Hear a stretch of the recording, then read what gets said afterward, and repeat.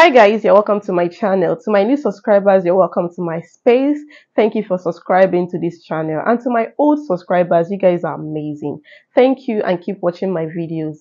So in today's video, I'll be talking about how you can boost your red blood cells level, the things the body needs, and the nutrients you need to add to your diet to improve the production of your red blood cells.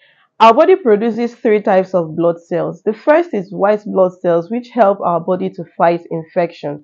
In my last video, I talked about the important role white blood cells plays in our body to keep us healthy. So if you have not seen the video, do well to watch it. I'm certain it will be of great help to you. So the next cell is platelets. Platelets helps for blood clots. Okay, have you ever wondered why each time you get injured, after a while the bleeding will stop? This is because of the presence of platelets in your blood. If you don't have enough platelets in your blood, you find out that when you get injured, the bleeding will not stop. Okay, so platelets is a very important cell that is present in our blood. The third cell is red blood cells, which is the one we are talking about today. Okay, so this red blood cells contains hemoglobin. Hemoglobin helps red blood cells to carry oxygen from the lungs to every part of the body.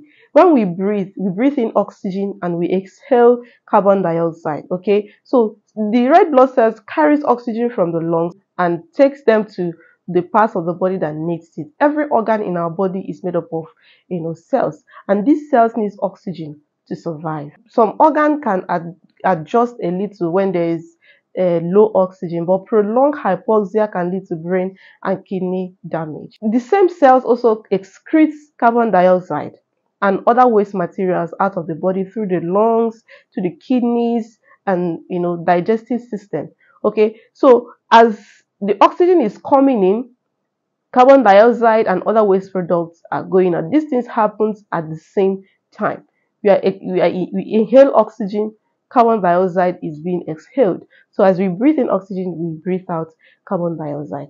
So you can see how important these cells are. You know, they are very, very, very important. So we need to, you know, try as much as possible not to have less of them in our body. Anemia, which is a condition that occurs when your blood does not have enough red blood cells, can be caused by a lot of things. It could it could be uh, due to excess bleeding, you know, maybe because of an accident or menstruation, especially for ladies that have, you know, a heavy flow. All right, it could be as a result of pregnancy. Pregnant women, their packed cell volume, their PCV level tends to decrease during that period. It could be as a result of, you know, intestinal disorder. It could be as a result of parasitic infection. You know, some of these parasites, uh, some of these intestinal uh, parasites, they tend to, you know, cause bleeding. Some of them feed off, you know, from our, our body. So it could be as a result of autoimmune disease.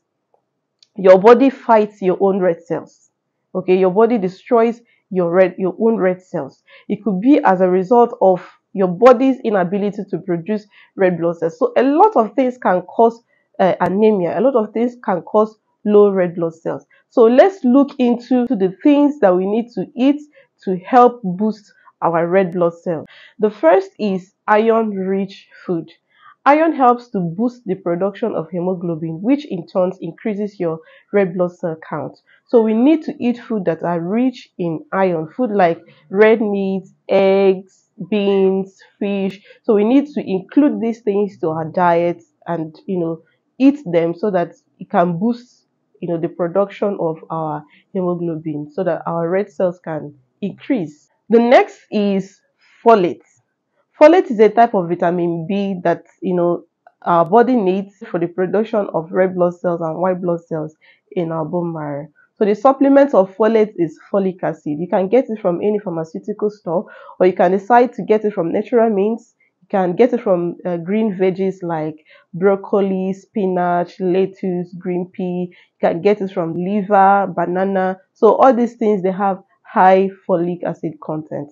Next is vitamin B12.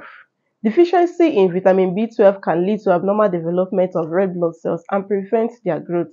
The condition is called megaloblastic anemia. So in order to prevent this anemia, we need to eat food that have high content of vitamin B12. You can get it from soy milk, you can get it from cereals, fish, egg, meat, uh, and so on and so forth. So this food they are rich in vitamin B12. The next is copper. Copper does not directly help in production of red blood cells. It boosts our red blood cell count by improving the absorption of iron. Okay, it helps to absorb iron into the body and we have talked about the importance of iron in production of red blood cells so the more we take copper rich food like cherries oysters potatoes shellfish you know the more iron that are needed for production of red blood cells are being absorbed into the body thereby increasing our red blood cell count the last but not the least is vitamin c just like copper, vitamin C does not directly affect the production of red blood cells. Instead, it improves the absorption of iron. So it's advisable that after two hours of eating iron-rich food, you can take fruits that are rich in vitamin C like grapes, strawberries, oranges, you know, to help absorb those ions into your body for, you know, more production of red blood cells.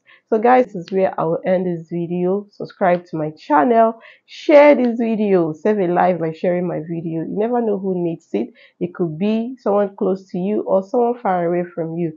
Like and comment and stay blessed. See you in my next video. Bye. Say what you want to say to me now